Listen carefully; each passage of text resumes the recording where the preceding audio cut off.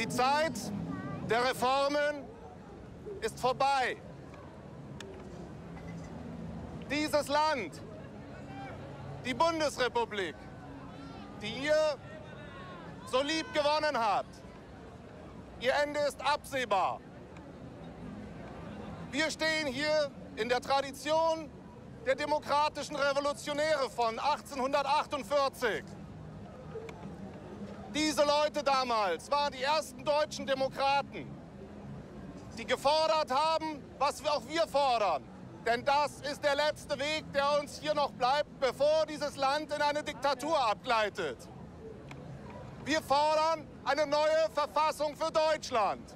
Und dafür brauchen wir Republikaner, echte Republikaner. Wir brauchen euch. Deswegen, ich fordere euch auf. Werdet deutsche Revolutionäre. Erinnert euch an eure Vorväter und Mütter 1848. Die haben es uns vorgemacht. Damals sind wir gescheitert. Diesmal müssen wir gewinnen. Wir müssen eine deutsche Revolution machen.